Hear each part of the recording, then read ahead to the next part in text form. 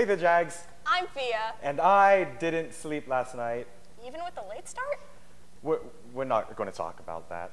Okay, anyways, have you heard of our bowling team's amazing winning streak? 16-0. yeah, they're doing crazy good. Now, we will be interviewing one of their fabulous bowlers. Uh, what's your favorite memory from this year on your team? Definitely earning pizza for picking up splits. All right, nice, nice. How do you think you're going to move forward in winning the next competitions? I think we're going to do pretty well, saying that we went in the Tower Classic and also win against those teams. So I think we're going to do pretty well. All right, nice, nice.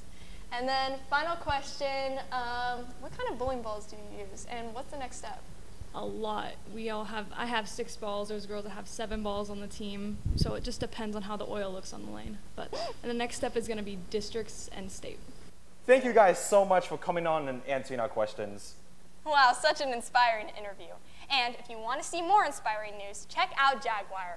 You can find tons of different articles about what's going on at ER. If you can't get enough of Emerald Vision, just go to JagWire.org to see what's been happening. Or if you just cared about it like a normal amount, like a normal human being, and you missed an episode. Wait, Phia, you've missed an episode?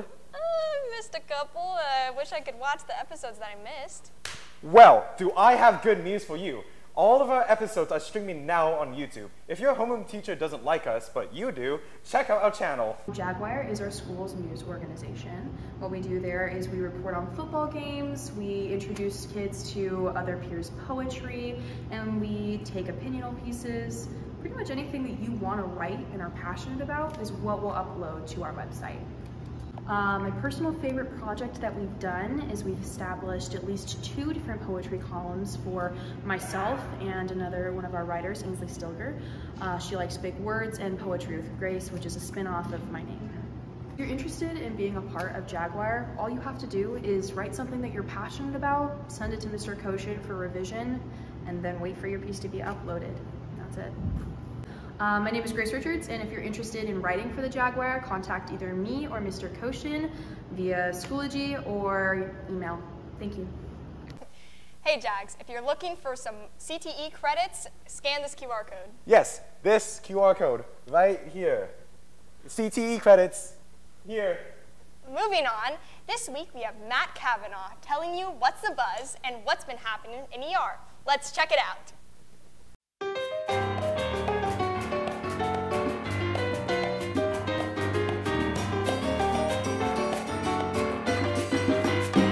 Hey Jags, it's me again. These are NFL teams, not high school teams, and you may be asking why I'm doing that, and it's because it's my show and you cannot tell me what to do. Anyways, these are the playoffs.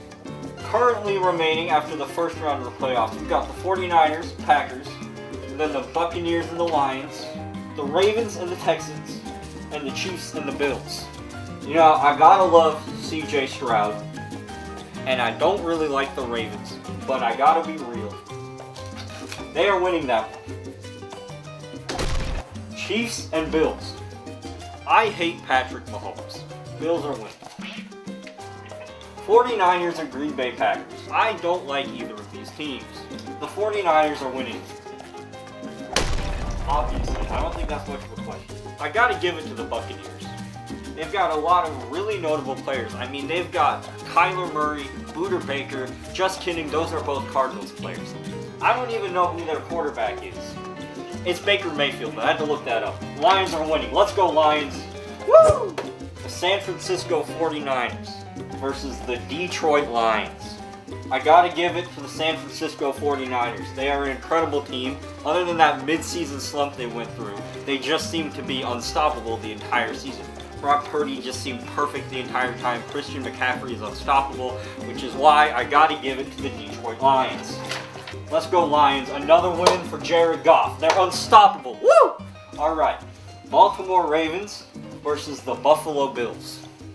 This is another situation of the Ravens just seem to be unstoppable, and I don't think Josh Allen will pull it out this time. I think I've got to give it to the Ravens. All right. Super Bowl 58, everybody. The big game. The day where every American across the country decides, you can't tell me what to do, I'm putting an Oreo in the deep fryer. So who's gonna win? The Baltimore Ravens have a stacked offense. I mean, they've got Lamar Jackson, other players, probably, I don't know.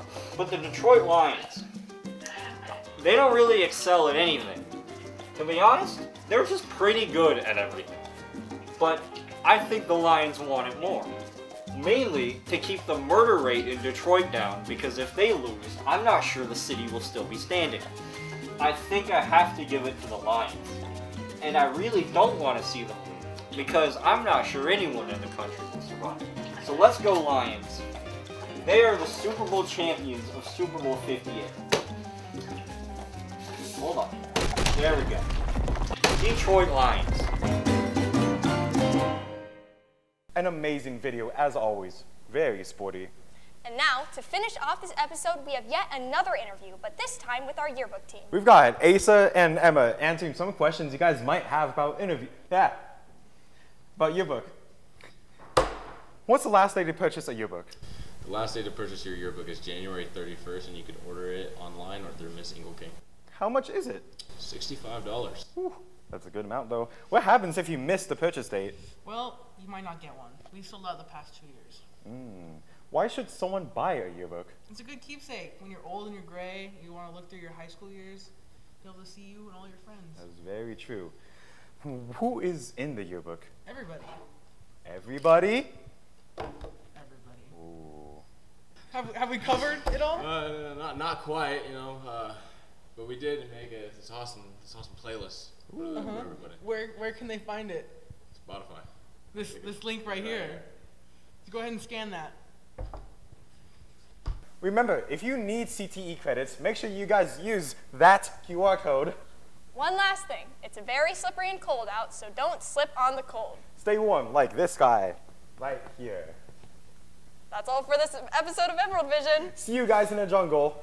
Go, Jags!